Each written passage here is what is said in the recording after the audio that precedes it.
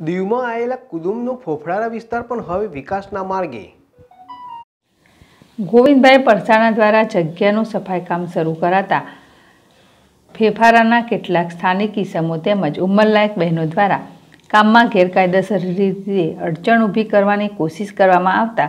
ગોવિંદભાઈ પરસાણાના વકીલ આરવી મહેતા દ્વારા પોલીસ કંટ્રોલને જાણ કરવામાં આવેલ અને સ્થળ પર સમયસર પોલીસ આવી જતા સ્થાનિક લોકો દ્વારા ઊભો કરવામાં આવેલ શાબ્દિક ઉપદ્રવ અટકી ગયેલ હતો અને લો એન્ડ ઓર્ડરની પૂરેપૂરી જાળવણી સાથે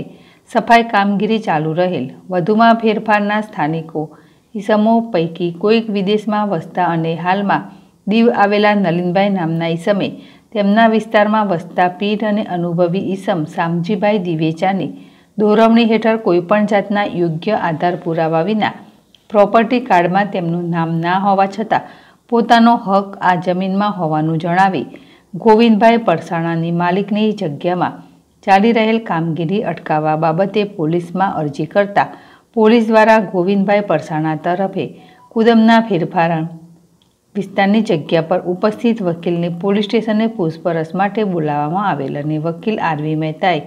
ગોવિંદભાઈ પરસાણાની માલિકી પુરાવા અંગેના કાગરો પોલીસ સ્ટેશનમાં રજૂ કરી પોતાના કાયદેસરતા તેમજ હક બાબતની રજૂઆત કરી અને સ્થળ પરની કામગીરી ચાલુ રાખેલ. સાથે સાથે વકીલ આરવી મહેતાએ પોલીસને જણાવેલ કે ગોવિંદભાઈ પરસાણાની માલિકીની જગ્યામાં કેટલાક સ્થાનિકી સમૂહ દ્વારા હજી પણ રાત્રિના સમયે દબાણ કરવાની કોશિશ કરવામાં આવી શકે છે કે સફાઈ કામે આપવામાં આવેલ ઝંડી ઝાંખરા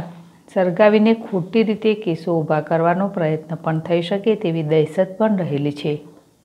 મીનાક્ષી ગઢવી જેડેશ ટીવી દીવ.